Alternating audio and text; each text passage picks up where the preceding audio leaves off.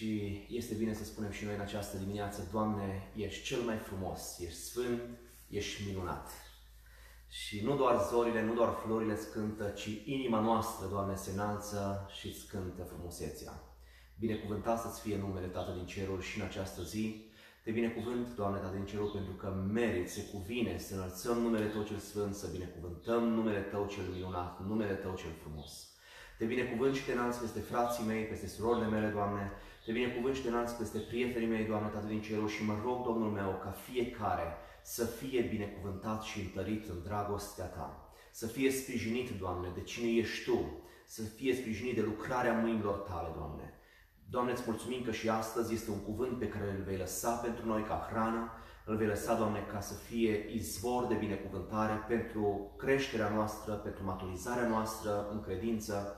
Mă rog, Domnul meu, ca mințile și inimile noastre să fie deschise pentru a primi cuvântul Tău. Te binecuvântăm în numele Lui Isus. Amin. Preobiților, și în această zi vă spun bun venit la o nouă prezentare, la un nou mesaj pe care vrem să îl uh, antrenăm în mijlocul nostru, bazați pe Cuvântul lui Dumnezeu și să scoatem în evidență acest subiect, caracter divin, tema de astăzi, și să construim lucruri care ne, ne, ne zidesc pe fiecare dintre noi în înțelegerea despre cine este Dumnezeu și felul în care El acționează și vom scoate în evidență încă un lucru esențial, și anume faptul că Dumnezeu ne-a creat după chipul și asemănarea sa. Așadar, nu suntem așa căzuți de undeva și neavând nicio rădăcină, neavând nicio...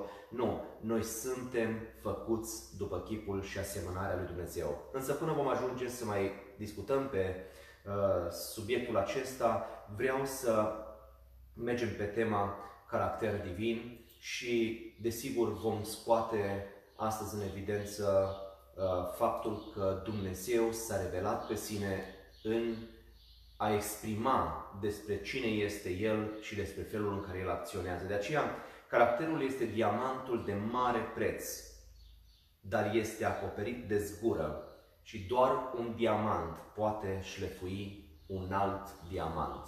Am studiat pe subiectul acesta și fiecare diamant când își primește fațetele sale, Uh, este nevoie ca bijutierul să folosească un alt diamant prin care să curețe zgura ca fațetele să iese în evidență. Și valoarea diamantului crește funcție de fațetele pe care le are. Cu cât are mai multe fațete, cu cât se, scot, se scoate mai în evidență fiecare, uh, fiecare unghi, fiecare colțișor, cu atâta impactul și strălucirea și emanarea acelor raze frumoase ale diamantului se degajă mai frumos. Asta este partea minunată, este că Dumnezeul nostru, atât pentru faptul că El este și Creatorul, El este și Cel care, cu ghilimele de rigoare, este bijutierul, este, uh, este și diamantul strălucitor care El uh, formează ființa noastră în așa manieră încât să ne dea mai multă și mai multă strălucire. Însă, în ceea ce privește definirea sau să dăm o definiție oarecum pentru caracter, caracterul este particularitatea fundamentală și unică a unei persoane, care se manifestă în vederea orientării individuale prin consecvența aplicării ideilor în acțiunile ei. Este vorba de particularitate. Observați, uh, oamenii sunt caractere diferite și fiecare caută într-un fel sau altul să se exprime, să se manifeste pe sine într-un mod sau altul, are reacții, are uh, acțiunile sale, felul în care uh, felul în care se manifestă. Însă, este un model suprem. Este caracterul divin, felul în care Dumnezeu s-a revelat pe sine și noi astăzi vrem să descoperim acest lucru și în baza felului în care Dumnezeu s-a revelat pe sine, în, încerc din nou să subliniez, uh, este nevoie ca și noi să putem să ne conectăm în, a, în acea formă, pentru că felul în care Dumnezeu s-a revelat pe sine este, de fapt, forma în care El ne-a construit și pe noi, ca să, să existăm, să fim. Și o să observăm că sunt anumite trăsături interioare care doar trebuie să le eliberăm, să le dăm drumul să se manifeste, pentru că fac parte din natura divină care a fost așezată în ființa noastră. Biblia nu ne dă definiții așa, motamo ale caracterului lui Dumnezeu în mod direct, însă ne arată imaginea a cine și ce este El. Este imagine. E felul în care El s-a descoperit pe sine și uh, uh, vorbește despre sine. Și vom vedea în Scripturi, când vom ajunge la Exodul, capitolul 34, vom căuta să scoatem în evidență ceea ce Domnul a spus despre sine atunci când a discutat cu Moise.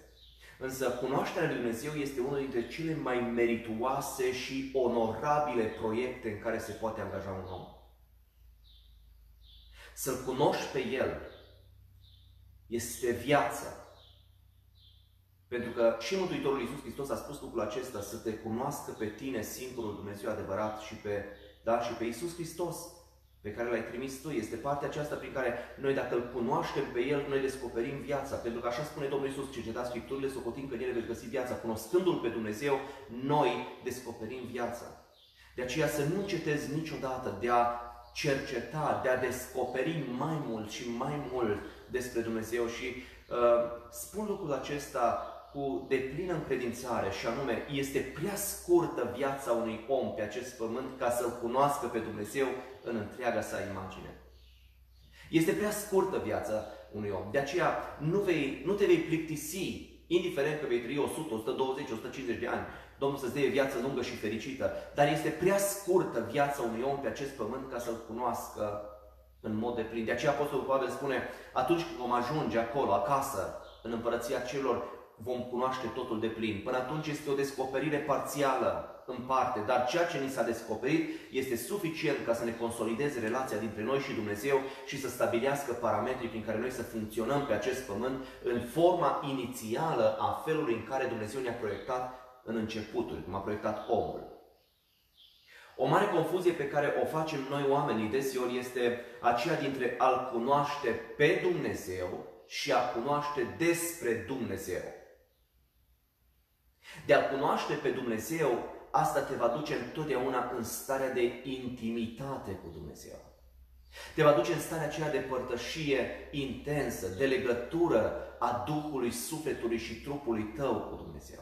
De a cunoaște despre Dumnezeu te va face un povestitor despre El, pentru că ai cercetat și cum uh, uh, în urmă cu mai mulți ani am întâlnit o persoană în cadrul didactic și era profesor de istorie și acest uh, uh, cadru didactic m-a abordat și a spus ce atâta credință, știa despre mine că sunt un căutător după Dumnezeu și ce atâta credință, ce atâta filozofie, ce atâta scriere. Uh, Dumnezeu e istorie. În felul acesta a priceput persoana respectivă despre Dumnezeu, că este istorie. Dumnezeu a scris istorie și el rămâne istoria vie, activă, însă nu este doar ceva despre care noi putem să vorbim amintindu-ne despre ce a făcut și ce. Dumnezeu este Cel care se descoperă pe sine ca persoană. Dumnezeu este persoană. Chiar dacă e spirit și nu are forma unei ființe umane sau unei vietăți pe care oamenii încearcă să o... Nu, Dumnezeu este o ființă care are, are personalitate, are caracter, are forma de manifestare, se găsesc funcțiile unei ființe, a unei persoane. De aceea, nu te opri la a cunoaște despre Dumnezeu, cunoaște-L pe Dumnezeu, dezvoltând relația de intimitate cu El, dezvoltând relația aceea prin care tu, într-adevăr, te și proșterni ca închinător, dar ai și statut de copil al său prin creație și apoi de copil al său prin naștere din nou, dacă l-ai primit pe Domnul Isus Hristos ca Domn și Stăpân în viața ta și cu adevărat s-a produs acest act al nașterii din nou. Ai posibilitatea să te apropii de El și să-L cunoști pe El și Apostolul Pavel spune să-L cunosc pe El da? și uh, să mă fac părtaș la suferințele sale, să mă identific în alte cuvinte. Vreau să mă identific în Dumnezeu. Este mult mai profund decât de a cunoaște despre Dumnezeu. Asta este partea care caut să o transmit pentru voi și să vă familiarizați și în același timp să absorbiți înăuntrul vostru acest dor, această dorință de a-L cunoaște pe Dumnezeu la nivel personal, la nivel de uh, relație personală. Cunoașterea lui Dumnezeu este un proces complex. De aceea ai nevoie de mai mult decât o viață de om ca să-L cunoști pe Dumnezeu în întreaga sa existență, începând de la aspectul, pentru că mulți pun problema provenienței lui Dumnezeu. Dumnezeu există prin sine însuși, dar mintea omenească este prea limitată ca să poată să gândească această profunzime și această revelație. Ceea ce ne-a fost descoperit este suficient ca noi să credem și să avem nădejdea eternității. Însă acolo, când vom ajunge, vom înțelege totul pe deplin. Ni se vor descoperi și lucrurile ascunse, pentru că sunt multe lucruri pe care Dumnezeu le ține ascunse de ochii omului, ca omul să nu știe despre ele. Știe Domnul de ce face lucrul acesta, dar e suficient pentru noi ca să înțelegem atât să descoperim potrivit cu felul în care El s-a revelat pe sine pentru noi. Este, uh, este mult mai complex de a cunoaște pe Dumnezeu decât de a cunoaște un om. Pentru că omul are și șlatura lui firească și cunoscându-l pe om este și o stare chiar de distanțare, cunoscând latura lui firească nu întotdeauna te apropie, cunoscând latura duhovnicească este parte care te poate apropia mai mult. Observați?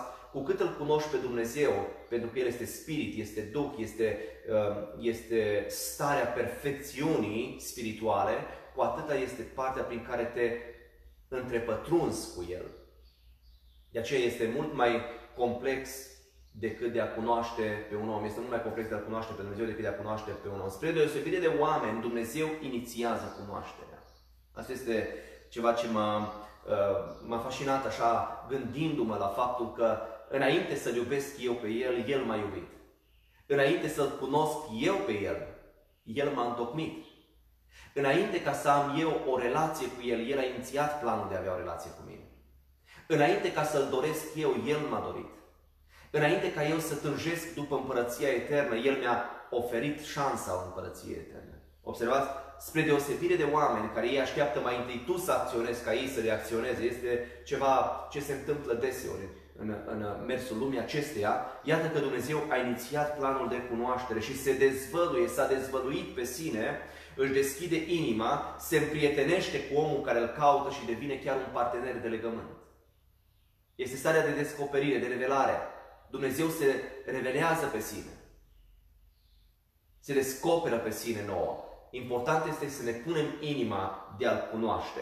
Cum am spus, Dumnezeu este spirit și El este spiritul infinit și perfect în care și-au sursa, suportul și scopul toate lucrurile. În El își au sursa și scopul toate lucrurile. Un spirit infinit și etern și neschimbător în ființa, înțelepciunea, puterea, dreptatea, bunătatea și adevărul său. Într-unul din materialele pe care le-am scris, caracterul lui Dumnezeu, și caracterul ucenicului sau al liderului, acolo este mult mai în amănunt pentru cei care aveți acest material deja în mâna voastră și ați trecut prin programele de ucenicie. Chiar vă încurajez să luați și să citiți, să recitiți, să studiați materialul pentru că vă va aduce uh, mult, mai, mult mai bine uh, imaginea sau va împrospăta imaginea despre uh, Dumnezeu Uh, ca spirit uh, despre caracterul lui Dumnezeu, despre felul în care El s-a revelat pe sine și felul în care ne așteaptă și noi să ne conectăm în cine este El. Însă Dumnezeu există prin sine însuși și s-a descoperit omenirii în epocă și cultură. Nu îl putem prezenta pe Dumnezeu prin niciun obiect, pictură, artă sau ființă cu un uh, nume, chip, cu un anume chip, fiindcă El este spirit. Și trebuie să rămânem la acest punct, întărind de câteva ori deja aspectul acesta, chiar dacă vorbim despre Dumnezeu ca persoană, El este spirit, este Duh, nu are o formă omenească, nu are o formă, nu are un chip omenesc. Da? Cea mai relevantă exprimare despre sine este modul în care Dumnezeu s-a revelat lui Moise în Exodul 34, 6 și 7 și voi citi aceste cuvinte din Scripturi când Domnul îl cheamă din nou pe Moise pentru a se reînnoi tablele legii. Da? Și acolo Domnul uh, a trecut pe, pe, pe dinaintea lui Moise, pentru că Moise a fost preocupat și a spus, vreau să știu cine ești, mă voi duce înapoi la ei, voi merge, voi vorbi cu ei, trebuie să le spun mai clar despre cine ești Tu, Doamne. Și pe lângă faptul că Dumnezeu a avut mai multe forme care și-a arătat numele, eu sunt cel ce sunt și așa mai departe, noi am vorbit despre numele lui Dumnezeu, însă El a, a trecut pe dinaintea lui Moise și a strigat. Domnul Dumnezeu este un Dumnezeu plin de îndurare și milostiv, încet la mânie, plin de bunătate și credincioșie, care își ține dragostea până în mii de neamuri de oameni, iartă fără de legea, răzvrătirea și păcatul, dar nu socotește pe cel vinovat drept nevinovat și pedepsește fără de legea părinților în copii și în copiii copiilor lor până în al treilea și al patrulea neam. În ceea ce urmează, am căutat să scot uh, uh, în evidență aceste nouă caracteristici ale felului în care Dumnezeu s-a dezvăluit pe sine pentru Moise și pentru poporul Israel întâiul său născut. Este forma acestor nouă caracteristici pe care El le-a exprimat despre sine. De aceea, atunci când îți pui întrebarea și spui, cum ești Tu, Doamne? Aduți aminte de acest cuvânt din Exodul, capitolul 34, versetul 6 și 7. Este undeva felul în care Dumnezeu se definește pe sine, felul în care își definește caracterul său divin. Și este important să-L cunoști pe Dumnezeu. Este bine precum ieri am învățat despre cele 10 porunci. Pe lângă faptul că trebuie să le cunoști la nivelul minții, este să le experimentezi la, la nivelul vieții, așa este și cu aceste nouă caracteristici ale, ale uh, caracterului dumnezeiesc, ale caracterului uh, care exprimă felul în care Dumnezeu s-a dovedit pe sine. E bine să le memorezi, dar în același timp sunt aspecte care le trăiești înăuntrul tău, care le exprimi în felul tău de viață. De aceea Dumnezeu este plin de îndurare. E prima caracteristică a caracterului său. Dumnezeu este plin, nu doar că este îndurător, nu doar că are îndurare. În El este plinătatea îndurării. Orice om care vine la El și îl caută cu întreaga ființă, indiferent de cum ar arăta viața acelui om, indiferent cât de mizerabilă, indiferent cât de respingătoare, indiferent de cum ar arăta, Dumnezeu e gata să-și arate îndurarea. Și El își arată îndurarea până în al miilea neam față de cei ce îl iubesc și păzesc poruncile Lui. Observați?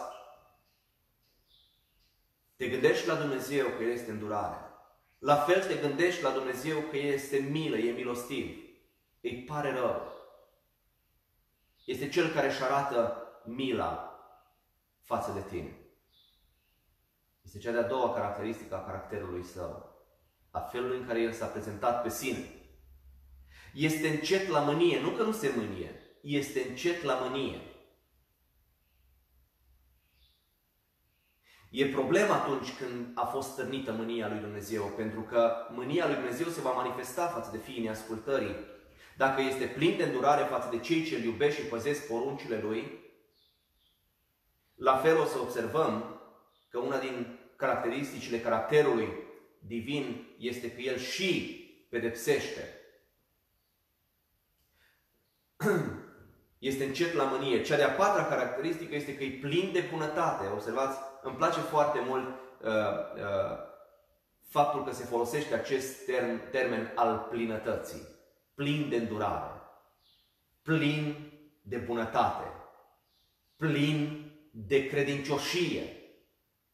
Să-ți aduci aminte de faptul că la El vei găsi mila, la El vei găsi bunătatea, la El vei găsi credincioșia și dacă ai, dacă ai păcătuit, El este și încet la mânie atunci când tu te căiești de păcatele tale, vei găsi remediu, pentru că El își va manifesta mila și îndurarea peste tine, își va manifesta bunătatea, își va manifesta credincioșia. Cea de-a șasea caracteristică este că Dumnezeu își ține dragostea până în mii de neamuri de oameni. Oamenii în sine, astăzi, dacă te uiți la ei, își păstrează dragostea pentru tine doar dacă ești pe placul lor. Doar dacă le-ai făcut actele de benețe, dacă te-ai apropiat de ei făcând diverse lucruri care, uh, care pe ei împlinesc, își vor exprima un sentiment de afecțiune, de dragoste. Dar și oamenii renunță ușor la oameni. Oamenii renunță cel mai ușor. Atât la oameni cât și la Dumnezeu. Însă Dumnezeu este diferit. Dumnezeu este Cel care își ține dragostea până în mii de neamuri de oameni. Numai omul care nu vrea să beneficieze de dragostea lui Dumnezeu nu va putea să fie întâmpinat de ea. Dar acea dragoste este undeva așa în aer, e în preajma fiecarei ființe, fiecarei persoane de pe acest pământ. Ia aminte la locul acesta. Dumnezeu este dragoste, este parte din, din, uh, din atributele sale. Însă, iată, El este și iertare. El iartă fără de lege răzvrătirea și păcatul.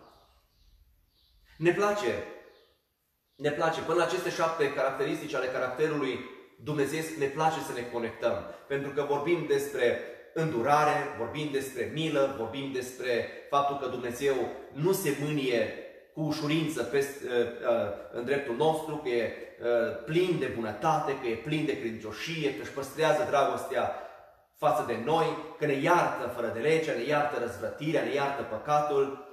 Însă, iată, mai sunt încă două caracteristici ale caracterului divin și cea de-a opta caracteristică în enumerarea noastră este că Dumnezeu nu socotește pe cel vinovat drept nevinovat. Dumnezeu nu socotește pe cel vinovat drept nevinovat. Adică dacă ai păcătuit, înaintea lui păcatul rămâne până în momentul în care tu te pocăiești, te căiești de păcatele tale. Singurul păcat pe care Dumnezeu nu-l poate ierta este păcatul de care nu te căiești, de care nu te pocăiești.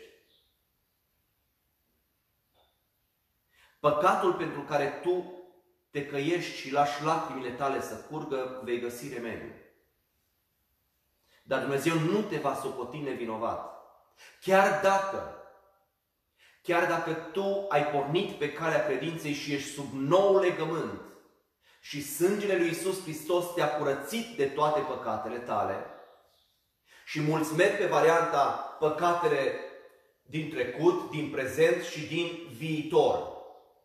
Eu sunt de acord cu această teologie până la punctul în care insist și spun Dumnezeu este Cel care te spală de păcatele prezente și pentru cele viitoare pe care le vei comite, dacă tu ai tăria să te pocăiești și să te căiești de păcatele tale. Însă nimeni să nu înțeleagă într-o formă greșită. Harul nu este ca să ne uh, îndemne la, la păcătui. Harul ne învață despre a o rupe cu păcatul și cu poftele sale. De aceea omul care îl iubește pe Dumnezeu și care îl cunoaște pe Dumnezeu, nu despre Dumnezeu, cum spuneam, omul care îl, care, care îl cunoaște pe Dumnezeu și care e flămând și însetat după a-L cunoaște pe Dumnezeu, după a-L experimenta pe Dumnezeu, el nu are în lăuntrul său dorința după a păcătui, că Domnul e oricum milostiv, e drept, e plin de bunătate, lasă că trece Dumnezeu cu vederea și peste asta și peste asta, El e Dumnezeu, e bun și așa mai departe. Dumnezeu nu socotește nevinovat pe cel care este vinovat. Și cel de-al nouălea aspect pe care vreau să-l scot în evidență despre caracterul lui Dumnezeu în forma în care El s-a revelat pe sine, este că pedepsește fără de legea părinților în copii și în copiii copiilor lor până la al treilea și al patrulea neam. Iată, există și consecința nu doar asupra celor care păcătuiesc, ci este și consecința transmiterii păcatului generațional în descendenți și odată cu transmiterea păcatului generațional, tu vei duce pedeapsa divină și peste copiii copiilor tăi până la al treilea și al patrulea neam. Ceea ce poate întrerupe consecința păcatului sau pedeapsa asupra păcatului este pocăința și chemarea numele lui Isus Hristos și acoperirea cu sângele lui Isus Hristos pentru a fi curățit tu și astfel păcatul să nu se mai ducă în adâncime generațional și să nu mai intre descendenții tăi sub consecința păcatului. Cum, de exemplu, am mai dat aceste, aceste explicații, dacă păcatul divorțului, divorțul este un păcat, și Dumnezeu este Cel care se opune. Ce a unit Dumnezeu, omul să nu despartă. Punct. Însă acest păcat generațional, dacă tu, cel divorțat sau cea divorțată, nu l-ai rupt prin pocăință și prin chemarea în numele Lui Dumnezeu în atitudinea proșternerii și a spălării în sângele Lui Isus Hristos, păcatul acesta îl vor culege descendenții și nu puține studii pe care le-am făcut pe linia de familie am văzut că dacă părinții au ajuns la divorț, copiii au moștenit blestemul generațional, au divorțat, nepoții au moștenit păcatul generațional, au divorțat, strănepoții au moștenit păcatul generațional și au divorțat. Doar acolo unde oamenii s-au întors cu pocăință, cu căință înaintea Domnului și au fost acoperiți de numele Lui Hristos și spălați în sângele Mântuitorului Iisus Hristos, păcatul acesta generațional a fost rupt. De aceea copiii care aveți părinți sau bunici sau proveniți așa dintr-o ramură generațională unde blestemul păcatului s-a așezat din generație în generație, fie că e vorba de divorț, fie că e vorba de, de crimă, fie că e vorba de beție, fie că e vorba de incest, fie multe blesteme care pot să existe, prin întoarcerea voastră la Dumnezeu și prin chemarea în numele Lui Iisus Hristos peste voi, și prin spălarea în sângele Mântuitorului Iisus Hristos de păcatele moștenite generațional, cât și cele întocmite de voi, voi puteți să experimentați eliberarea de sub aceste legături. Nu mă întrebați pe mine de ce Dumnezeu gândește așa. El s-a revelat pe sine în felul acesta și a spus cine este. Iar cine încalcă aceste lucruri va intra sub consecința ceea ce Dumnezeu a spus că este și face.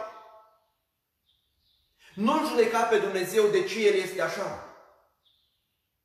Ce este clar este faptul că El nu poate primi întinăciunea și spurcăciunea. El nu primește în împărăția sa, nu primește întinăciunea și spurcăciunea. Pentru că Apostolul vine și aduce această revelație și spune nimic întinat și spurcat nu va intra în împărăția lui Dumnezeu.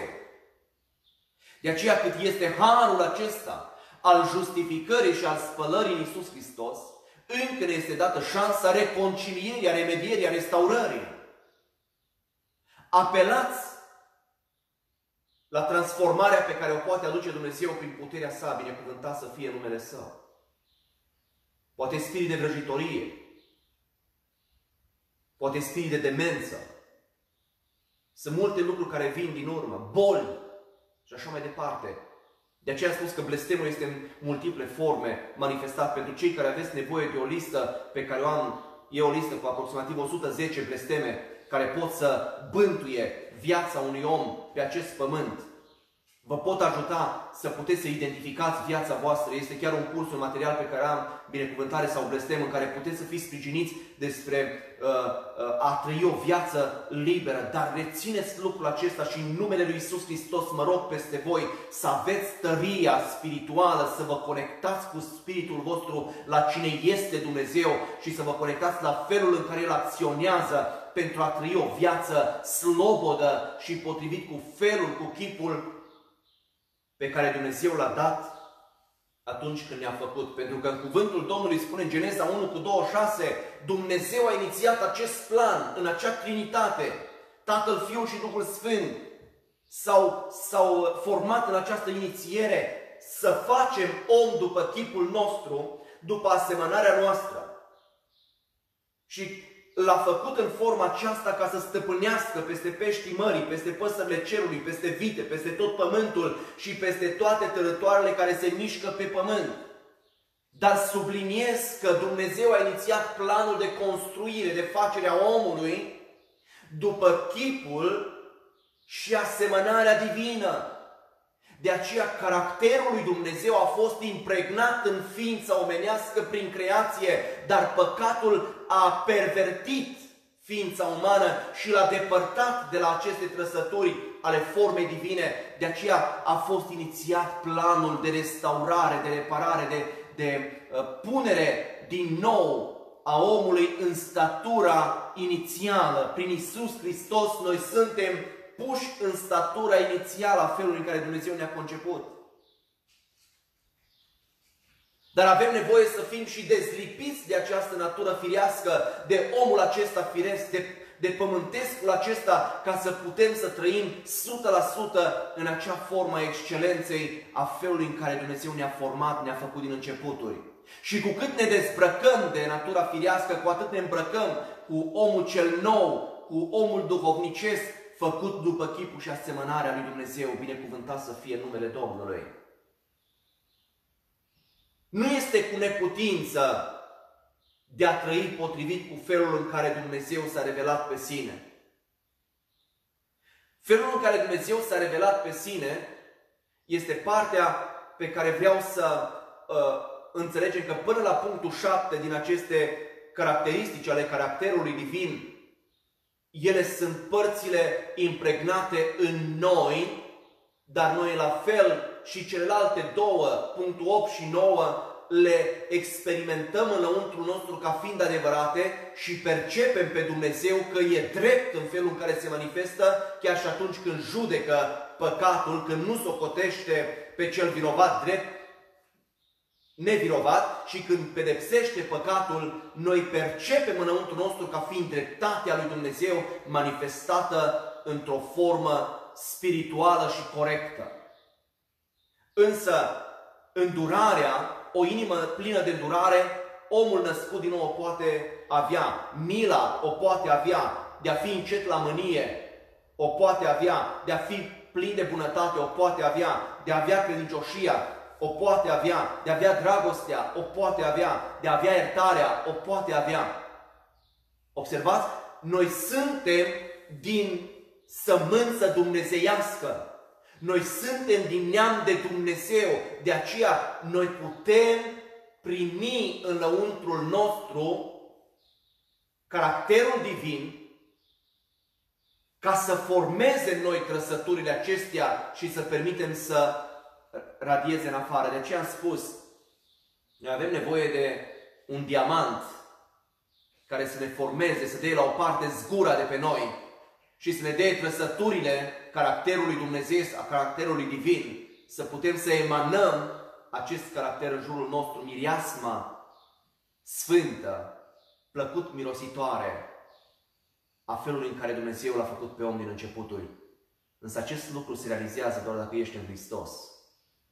Când numești un om că este om de caracter, trebuie să te gândești la ce ai făcut referire. E posibil să fi descoperit mila la el. E posibil să fi descoperit dragostea. E posibil să fi descoperit bunătatea. E posibil să fi descoperit credincioșia, îndurarea. Însă nu doar o caracteristică din caracterul lui Dumnezeu trebuie să fie în viața noastră. Noi avem nevoie de toate acestea să cuprindă ființa noastră ca să dea fațetele caracterului dumnezeiesc în noi. Preocuparea lui Dumnezeu este să ne formeze caracterul după caracterul lui Hristos. De aceea am numit un caracter hristic. Este forma pe care Dumnezeu vrea să o impregneze în noi. De aceea nașterea din nou este aducerea la acea formă inițială. Dar observați cu cât reușim să ne dezbrăcăm de omul cel vechi, de natura noastră firească, păcătoasă, cu atâta mai mult, cu atât mai mult caracterul dumnezeiesc continuă să se impregneze în viața noastră. Vreau în continuare să scot nouă afirmații despre dragostea și natura inimii de Tată lui Dumnezeu. Și în aceste nouă afirmații este în felul următor spus. Sunt trimiterile biblice pentru cei care urmăriți slide-urile. Vreau să vă motivez și să vă spun uh, celor care urmăriți pe telefon uh, ca să puteți să vedeți mai bine slide-urile care sunt uh, scrise în PowerPoint și prezentate vouă, pentru că apar comenturile la comentarii care acoperă slide-ul, doar glisați cu degetul spre dreapta. Apăsați și glisați cu degetul spre dreapta și comentariile vor ieși din cadru și veți putea să urmăriți slide-urile și să le citiți. Puteți opri telefonul și să luați trimiterile din Biblie și să mergeți pe ele pentru că vă vor ajuta în creșterea voastră. Dar vorbind despre inima de tată a lui Dumnezeu, descoperim așa, că Dumnezeu este bun. Dumnezeu este dragoste. Dumnezeu întotdeauna acționează pentru binele întregului univers. Gândurile și planurile lui Dumnezeu pentru noi sunt planuri pentru bine și nu pentru rău. În al cincilea rând, dragostea lui Dumnezeu pentru noi l-a determinat să dăruiască pe singurul Său Fiu, pe Iisus Hristos, pentru răscumpărarea noastră. Cel de-al șaselea punct este că Dumnezeu e plin de compasiune față de noi. E inima Lui de Tată. Inima de Tată al Lui Dumnezeu este că El se arată iertător și plin de milă pentru cei, cum spuneam, care se întorc cu inima spre El și se pocăiesc. Inima de Tată al Lui Dumnezeu este că vrea să ne dea sau ne dă daruri bune. Inima de Tată al Lui Dumnezeu este că El ne vindecă e vindecătorul nostru și nu doar fizic ne vindecă, ci ne vindecă și spiritual. Sunt nouă caracteristici care am trecut doar ca să scot în evidență că Dumnezeu, în caracterul său, în cele nouă caracteristici care le-am citit, El își manifestă inima de Tată. Descoperă pe Dumnezeu, cunoaște-L pe Dumnezeu, nu doar despre Dumnezeu. Astăzi, în ceea ce îți prezint, este să-L cunoști pe Dumnezeu și despre El, dar doar implicându-te tu în mod personal, dezvoltând, antrenând o relație personală cu El, în felul acesta vei putea să îl cunoști pe Dumnezeu. Pentru că ceea ce nu ne poate lua lumea din viața noastră este exact acest mare secret. Este că noi ne-am întrepătruns cu Domnul. Au încercat sisteme, au încercat imperii, au încercat îndelungul istoriei omenirii să stingă din viața omului credința în Iahve, în Dumnezeul cerului și al pământului. Însă n-au putut. N-au putut, știți de ce? Este că s-a întrepătruns N-a mai fost posibil să-l mai separe pe om de Dumnezeu în momentul în care s-a întrepătruns omul cu Dumnezeu și Dumnezeu cu omul. Ceea ce a dat stabilitate ființei umane să rămână în credință și nici măcar să nu-i pese dacă trupul e ucis, este că sufletul a găsit speranța în Dumnezeu și că Duhul s-a conectat cu Dumnezeu, binecuvântat să fie Domnului. De aceea insist foarte mult să-L cunoști pe El, să-L descoperi, să-L experimentezi pe Dumnezeu în întreaga sa frumusețe. Unul din uh, lucrurile la fel de frumoase pe care le descoperim despre Dumnezeu în dreptul relației cu Moise este că atunci când Moise i-a spus lui Dumnezeu, Doamne, descoperă-mi ca să te cunosc, vreau să mă duc la copiii tăi și să le spun cine ești, să le spun despre tine. Și spune cuvântul Domnului că Dumnezeu i-a trecut pe dinaintea ochilor lui Moise toată frumusețea sa. Nu este un lucru imposibil ca Dumnezeu să-ți descopere din frumusețea Lui mai mult și mai mult. În cuvântul Său, în Scripturi, Dumnezeu și-a descoperit frumusețea Sa. Însă dacă ai nevoie de mai mult de atât, inima Lui de Tată va continua să ți se descopere. Domnul va continua să ți se reveleze pentru că Domnul are preocuparea să se descopere față de sine prin Scripturi. El are preocuparea să-ți arate modul în care acționează și reacționează printre oameni pe pământ. Felul în care El și-a dovedit caracterul său în acțiunile sale, în descoperirile sale, este preocuparea lui Dumnezeu să ți se reveleze. Pentru că Dumnezeu are un scop final de plin și anume, El vrea să te sprijine de a te îmbrăca cu Hristos în omul cel nou făcut după chipul lui Dumnezeu. El are ca scop final să te îmbrace cu frumusețea divină, de o neprigănire și sfințenie pe care o dă adevărul său, binecuvântat să fie Domnul. Apostolul Pavel aduce acest cuvânt în Efeseni 4 cu 24 și pentru cei care m-ați urmărit în uh, mesajul care l-am vorbit despre moral și spiritual, vorbind despre codul moral, etic în Efeseni 4, 5, 6, a felului în care Dumnezeu ne cheamă să formăm principiile și conduita noastră de viață creștină. Iată, Apostolul aduce în Efeseni 4 cu 24 această afirmație să vă îmbrăcați în omul cel nou, în omul cel care a fost adus la viață după chipul și asemănarea pe care a primit-o din creație, din începuturi. În Isus Hristos, omul este readus la acea formă inițială. Făcut după chipul lui Dumnezeu, de o neprihănire și sfințenie pe care o dă adevărul. Vă binecuvânt, preiubiților, în acest final al mesajului și mă rog ca Domnul Dumnezeu să fie tăria fiecăruia dintre noi, să fie Domnul tăria voastră, să fie Dumnezeu Cel care să, fie, să vi se descopere mai mult și mai mult. Și în această zi mă rog ca El să continue să-și descopere frumusețea sa. Pentru voi cei care îl căutați pe Dumnezeu, pentru voi cei care vreți să-L experimentați pe Dumnezeu, e un secret să știți. Cei care cercetează pe Dumnezeu doar ca să speculeze diferite informații, nu vor putea să descopere frumusețea lui Dumnezeu.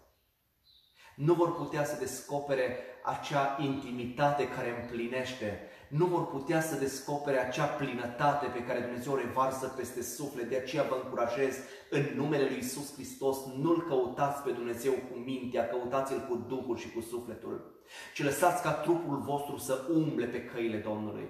Lăsați ca trupul vostru să meargă făcând ceea ce este bine. Descoperiți-L pe Dumnezeu ca persoană. Descoperiți dragostea și în mod inevitabil, în mod cert, Dumnezeu va continua să vă descopere frumusețea sa, pentru că El se descoperă pe sine fiilor și fiicilor sale fii și fiicele împărăției lui Dumnezeu, fii și fiicele lui Dumnezeu, Tatăl se descoperă, se revelează, continuă să se descopere. Domnul va continua să se descopere ție în vis de noapte, va continua să ți, să ți se descopere în vedenii, va, coopera, va continua să ți se descopere în profeții, va continua să ți se descopere în cuvânt, va continua să-și arate frumusețea sa, doar caută-L pe Domnul și El promite, mă voi lăsa să fiu găsit de voi, zice Domnul. În numele Lui Isus Hristos fie revelație divină peste fiecare dintre voi. Amin.